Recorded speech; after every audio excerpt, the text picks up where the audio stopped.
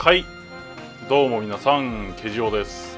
戦国恋姫オンライン応援紳士やっていきます、えーということで前回は17章が、えー新しく出てきてくれ出てきたので半分読んだんやったかな？17章。でまあ泉さんを一応人間に戻すことに成功しましたよということで、まあ、泉さんがこれからえ仲間に加わってくれるんかな？うんってことなんやけどえっとねたらしご免状のこととか長福のこととかをまだちゃんと話してなかったんで多分5話で話すんじゃないかな？うん。って感じなとこでえ4話が終わったんで早速5話さあさようですか？これは多分一通り説明したんやろうな。うん。長福とたらしご免状の詳細を聞いた泉は明らかに処理が追いついていないみたいだった。そらそうよな。いきなりそんなん言われてもなっていう。ですがお。そうですか。そうです。長福とはえっとそのような方法で。うん。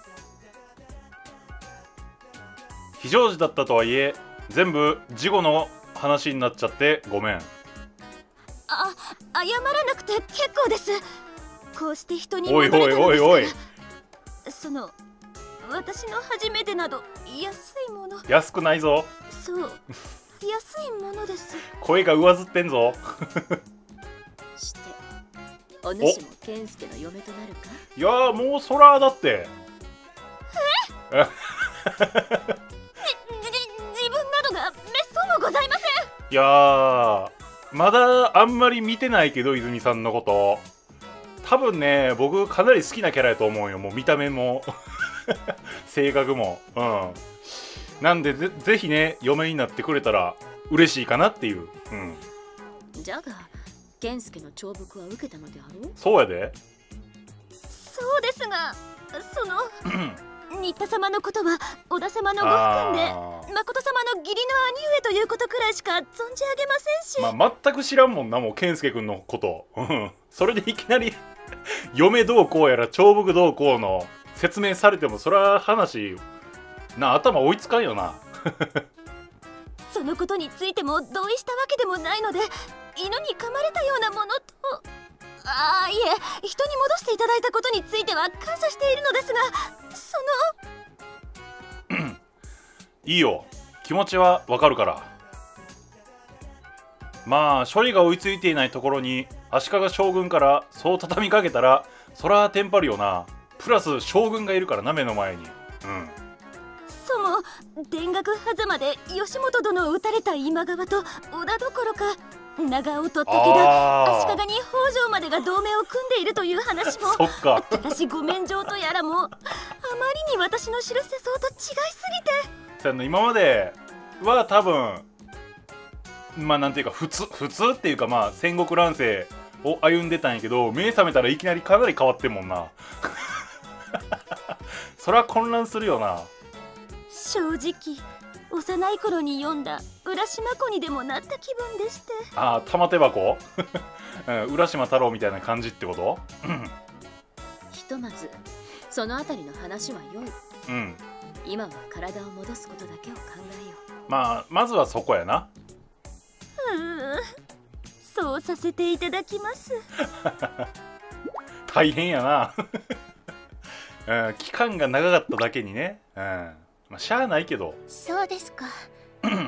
こたびの件若さの武田が関わっていた可能性も。ああそうそうそう。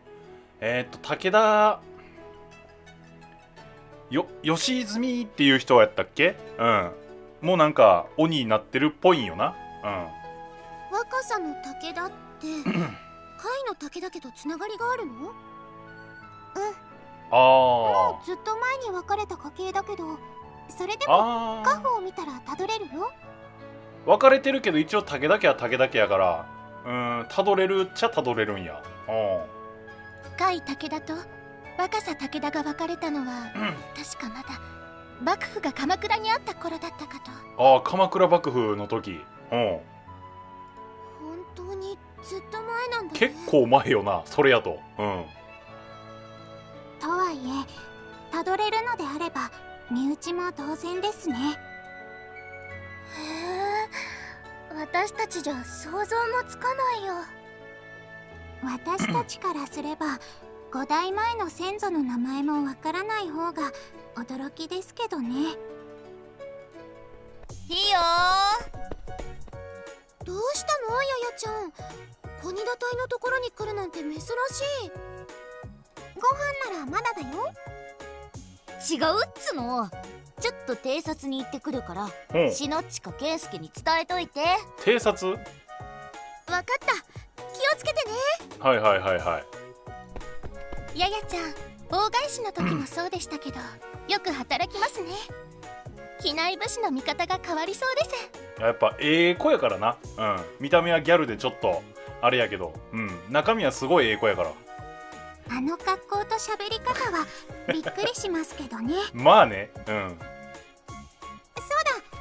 大返しといえばああのお家流は使わないの？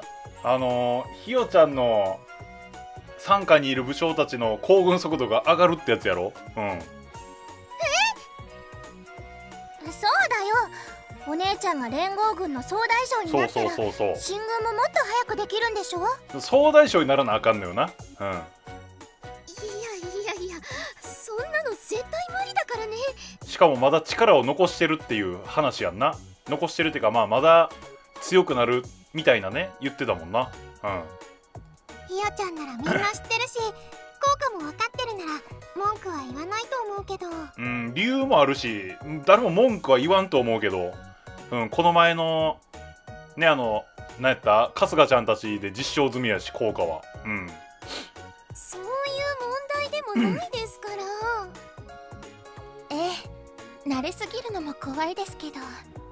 あのお家流。使えるものなら私も教えてほしいくらいですよ私だってなんで使えるようになったのかわかんないのにみんなして私を持ち上げすぎだよ。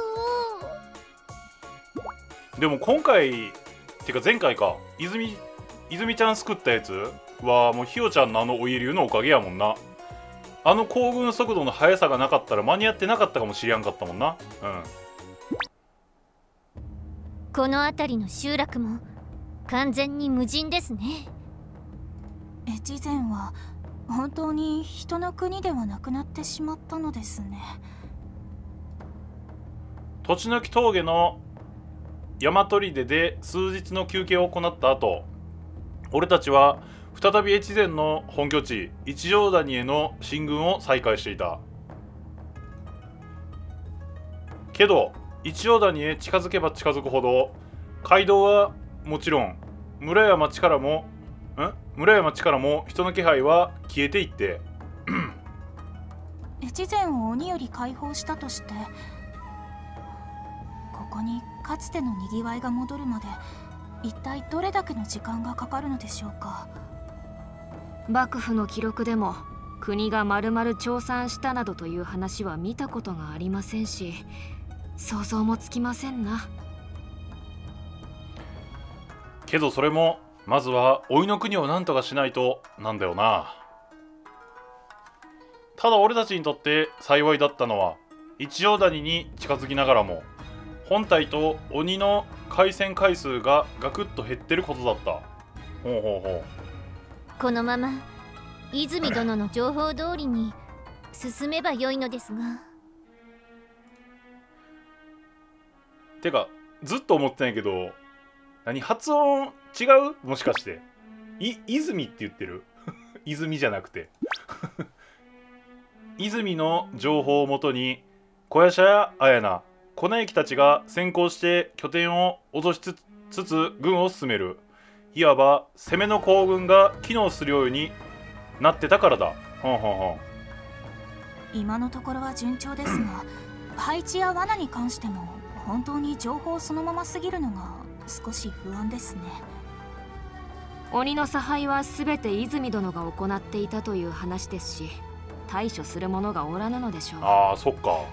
鬼の意図はどうあれ一条谷まで玉薬や糧食を温存できるのはありがたいですな。そうか。い泉 なんか慣れやんな。泉ちゃんがずっとやってたって言ってたもんな。うん。任されてたっていうか。ああただでさえ今回の戦いお金が出ていくばっかりだしな。クオンと小田家の国庫の話をすることはあんまりないんだけど大阪城築城の追加予算に越前遠征その上美の大返しのおまけ付きで小田家だけでも相当な出費を強いられているはずだ。交戦回数が減るのはもちろん行軍の日数が短くなるだけでも経費の節約につながるのは間違いない。それを一手でひっくり返されぬよう気を引き締めて進むといたしましょう。いや怖いからなほんまに。うん金が先があるからな。うん。おこれあれやな吉影やな。影明うん影明おらぬのか影明。影明殿はお打たれになり申した。え？ええちょ待って。影明殿はお打たれになり申した。え？ああれ？あれ？ちょっと待って。ややちゃんやんなこれ。なんだと？この鬼の国に踏み入った者たちによってえあれ？ちょっと待って。おお影明影明ああ怒ってはる。ああめちゃくちゃ怒ってる。えちょちょちょちょちょちょ終わり方終わり方。えちょもう一回見ていい？あれ絶対そうやんな。えちょちょうるさいうるさいうるさい。影明殿はお打たれになり申した。え絶対そうよ。声が。え？この鬼の国に踏み入った者たちによって。えそうやんなこれ。